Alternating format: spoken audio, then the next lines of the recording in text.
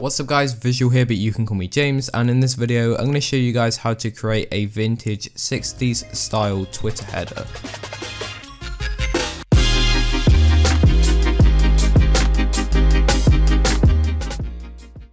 So guys, as you can see right now, I do have the header open. This is what I will be showing you how to make within this video, but of course you can go ahead and you can alternate this and you can make it for a YouTube banner if you wish. You can make it for a desktop wallpaper, it really doesn't matter, but in this case, I'm going to show it for a Twitter header. Now, as you can see, there is quite a lot of layers, but it isn't too complex, so hopefully you guys can go along and follow this tutorial pretty well. However, if you wish to get the PSD to this um, actual design, then if we can reach 280 likes on this video, I'll give you guys the PSD, but I'm sure a lot of you want to learn how to sort of do stuff in Photoshop, how to learn this style, um, and that's what I will be showing you in this video. However, guys, before I do go ahead and start, I would just like to give a big big thank you to a designer called Kami. He really helped me with this style. He, as, as you can see here, he helped me with the assets pack and uh, things like that, showed me how to actually create this as well. So make sure you go ahead, drop him a follow. I'll leave a link to his Twitter in the description down below.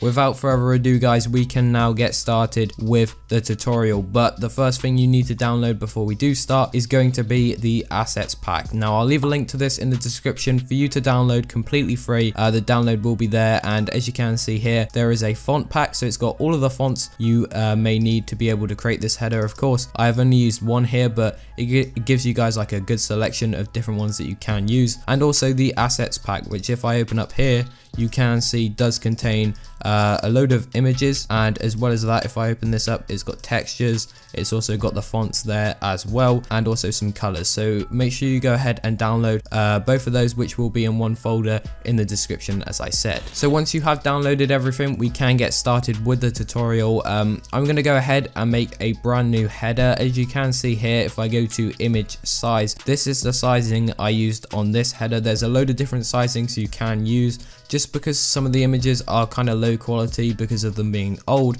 I made the sizing a little bit smaller but it still works perfectly fine. So if you do want to make the sizing the same just make sure the width is on 2000 and the height is on 667 so I'm going to make a brand new document using those sizings. Once you're in your Twitter document I recommend you have your rulers on. If you don't already just press Ctrl R on your keyboard to turn them on and then you can just drag in from the left and you can center them. So it will click into place when it is in the center. So I'm going to drag one from the top and one from the bottom just so we can um, of course center stuff a whole lot easier. So once you have done that you can now open up the assets pack. And once you are inside here you want to head over to the image folder and you want to click on paper and literally just drag and drop it into your document. And as you can see it is a little small if I go ahead and uh, let me just drag and drop this just so I can show you guys a lot easier. Um, the sizing that I used for this one here, if we drag the rulers, it goes to around about here on the document and this is way too small. So what you want to do is grab your paper and just enlarge it so it does cover around about a quarter of the actual header sizing. So around about there, maybe make it a little bit bigger.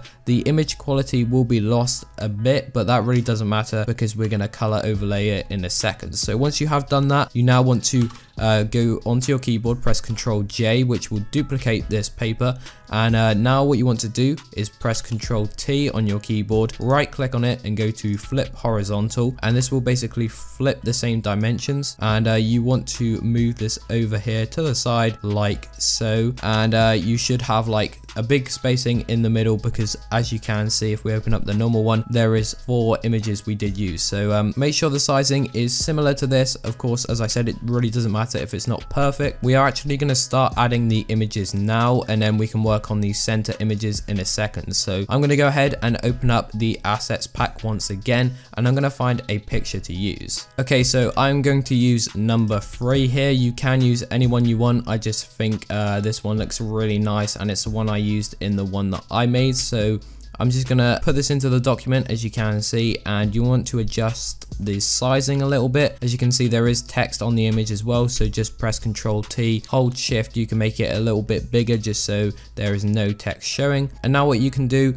is move this layer over just above the uh, first paper texture and you can actually right click on the layer, go to create clipping mask and as you can see there will be this nice ripped effect and now we need to add of course the other image. Uh, so the other image we used was this one so let me go back into the assets pack and find which one that is. Um, I believe it could be number four. Yeah, okay, number four, just drag and drop that into your header document and uh, make sure it's above the second texture this time do the exact same thing right click go to create clipping mask and uh, just move it about a little because of course there is text as well on this one so just control T just make it a little bit bigger. Uh, press enter and we are done for the first two images on the background. So now we can focus on the middle images. Now what we are going to do is add this uh, color on the ripped texture. So you want to go to your first paper texture and you want to press Ctrl J on your keyboard to duplicate and now grab the second one that's at the bottom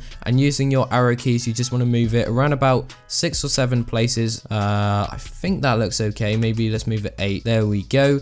And now what you want to do is get this same color that I use. So in order to do this, just double click on this layer, go to color overlay, and you want to select the same sort of color. So the one I used was a beach sort of color. So I'm just going to grab it from this using the eyedropper tool. So just literally select the beach over here, press OK and OK again. And there we go. So we're going to do the exact same process to the right image. So grab the second paper texture here, press Ctrl J on your keyboard and uh, the one that's below it you want to double click on go to color overlay and it should have the same color already on there if it doesn't you can use the eyedropper tool to get the same one press ok ok again and just move that over around about nine places or just anything similar so uh, around about there looks good. So guys, as you can see, we have our left image, we have our right. Now it's time for the center images. So uh, go to your paper texture. It doesn't really matter which one, any of these and you want to press Control J on your keyboard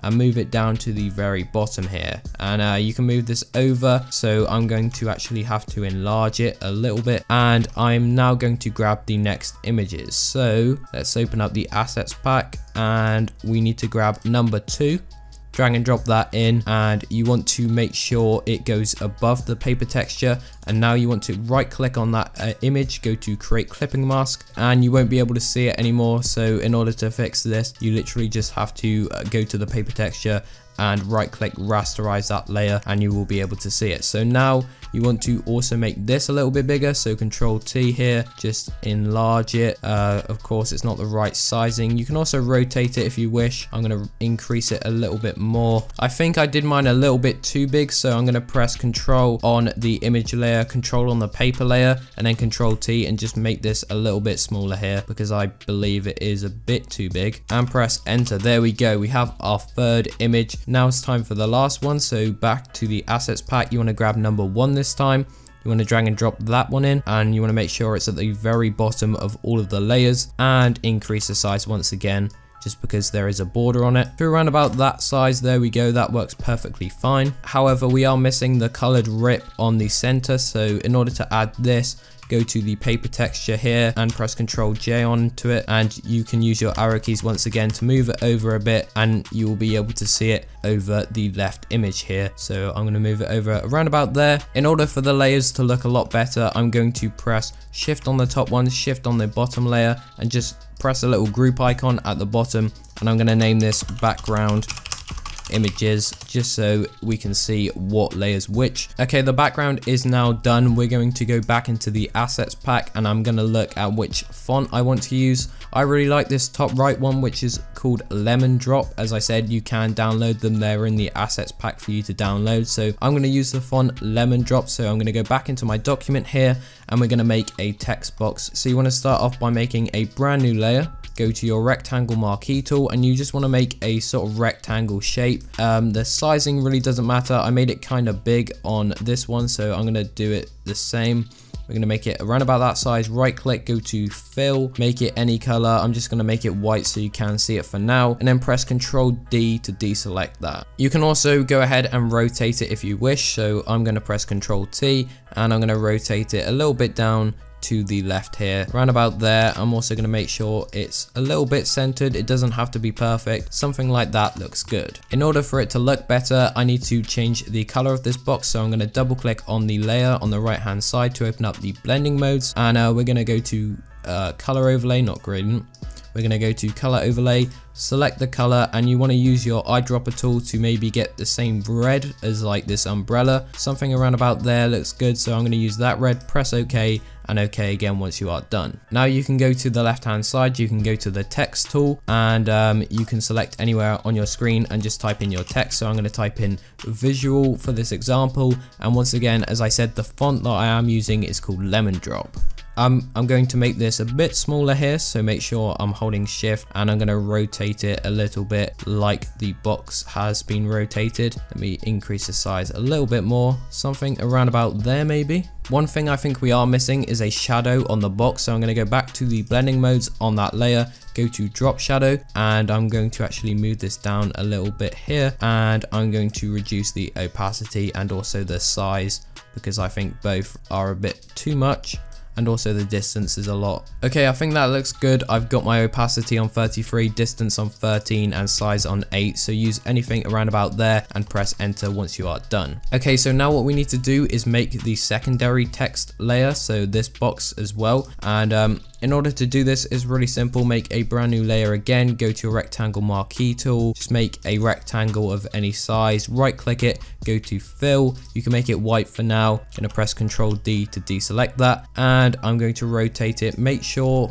as you can see, it is actually above the visual text layer. So anything around about there, press enter once you have found a nice spot for it and now we need to change the color of this so the one that I used was a uh, kind of like grayish uh, sand color. So just open up the color overlay and you want to find a suitable color so I'm just using the eyedropper tool to select the sand on this image and press OK and I'm also going to add a drop shadow similar to the other one but I'm also going to actually lower the opacity of this one so 17 opacity distance on 5 and size on 8 and I'm going to press OK once that is done. Now we need to add the text onto this one so I'm going to go back to the text layer and I'm going to write subscribe just for the example. I'm going to make it a bit smaller as well. Make sure the text is in the box and you can keep the same color if you wish. You can choose another color. It's completely up to you. For this example i'm going to use this light blue sort of color but it's up to you. Just use the eyedropper tool to uh, select anywhere on the images and try and find a nice looking color. Okay so we're almost done with the header. I want to add some lighting and textures though which will make it look so much better. So in order to do this make a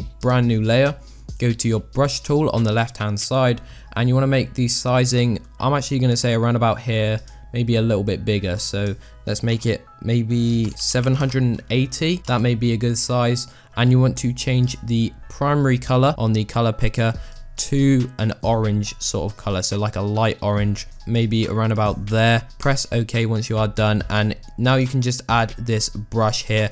I'm gonna add quite a bit of it. So I'm just gonna press uh, keep double clicking. Well no keep clicking on my mouse. And uh, once you have done this you can change the blending mode. I found overlay works really well but it's up to you. The color is really strong. So once you have added it you want to decrease the opacity to around about I'm gonna say 20% 25% I'm gonna put on 20 and there we go that's one lighting effect added. We're now we're now going to add some yellow to the sides of the header. So i'm going to make a brand new layer again. Change the primary color to a yellow color so like a really light uh, light light i can't even speak today.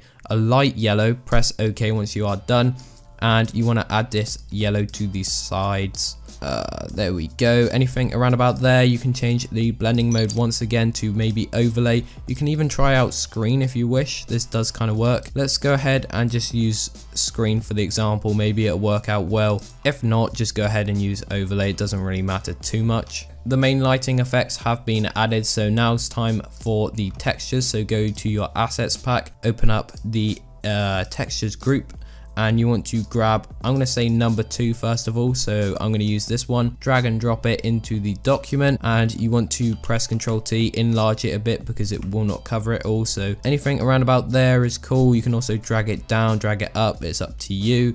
I'm going to put it there press enter and now you want to change the blending mode to multiply and you want to decrease the opacity a little as you can see this really makes it get that 60 sort of retro look. Uh, decrease it to whatever you think looks good. I'm going to put it on 50 percent. I think this looks so sick. Now we're going to go back into the assets group. We are going to grab number seven, drag and drop that one in here. Make sure it is covering the whole document once again and you want to change the blending mode to the exact same multiply but this time decrease the opacity to uh, a smaller number. So I'm going to say maybe 24%. I think this looks sick as well. Now the final texture I'm going to add is number 8 here. Uh, they are all over the place, ignore that, it doesn't really matter. And uh, just make sure it's covering the whole document. This time put it onto overlay and you want to decrease the opacity to anything around about 20%. And there we go, the header is basically done. Some final effects I do like to add though is grouping all of the uh, layers together. Uh, so shift on the top, shift on the bottom and group it. You can rename it to like header or anything like that press Control J and then Control E and then Control J once again and then add some magic bullet looks effects. Now I know a lot of you don't have this plugin, plugin. I believe it is paid. I'll leave a link to it in the description and um, these are my magic bullet looks settings that I do have and it makes it look a whole lot better if I add it as you can see. If you don't have magic bullet looks though you can drag and drop in your own CCs and mess about with those or you can just keep it how it is but one more effect I do add is grouping them once again go to control J control E and then control J one last time and you want to go to filter, go to noise, add noise, and you want to add a noise amount of around about 11 and press OK once you are done. And this just gives it that really nice vintage effect. And there we go guys, we are done with the header. This is what it does look like. I think it looks so sick. If you do go ahead and follow this tutorial, make sure you tweet me your creations at Visual J Daniels and I'll be sure to check some of those out. If you did enjoy the video, make sure to leave a like, that would be much appreciated. As I did explain, if we can reach 280 likes, um, I'll make sure to go ahead and drop the download link to the PSD in the description. As well as that, if you did enjoy the video and want to see more graphic design videos like this, please consider subscribing to the channel with post notifications on and you will be notified every time I upload a brand new video. And finally guys, if you would like to improve any of your design skills, make sure you check out my design store. I'll leave a link to it down below. There's loads of graphics packs on there that will help you out and I use them all the time. And yes guys, as I said, that is it for the video. Hopefully you guys did enjoy this. This has been Visual or James and I'm out. Peace.